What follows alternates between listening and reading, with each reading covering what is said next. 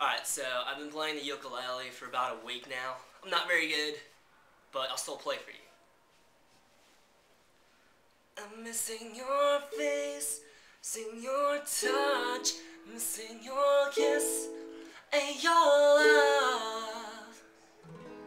Waking up slow on a Tuesday. What's up, my lovely fans? So you say you want to get to know me more. Well, this video should clear things up a little bit better.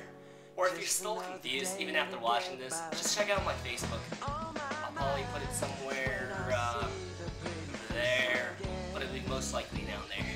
Well, let's begin. I shower naked.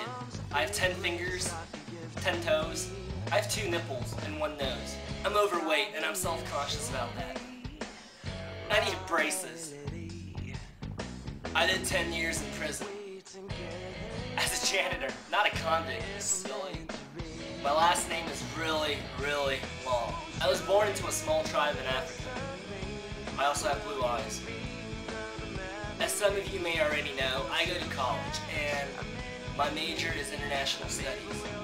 But if your real question is, do you like long walks on the beach, watching the sunset, organic cooking, rescuing shelter dogs, watching romantic comedies with Ben and Jerry, and volunteer firefighting on the weekends, then yes, yes to all of them.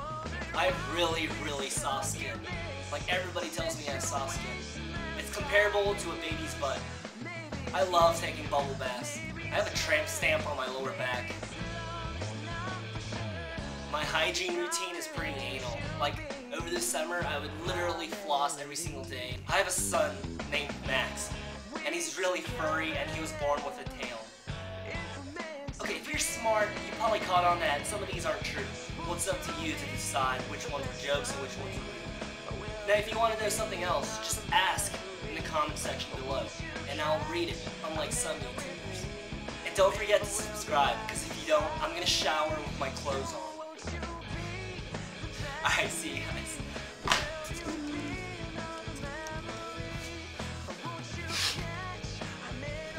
Up? Uh, okay, so I've okay, so I've been playing ukulele for about a week now. Not very good, but I'll still play for you.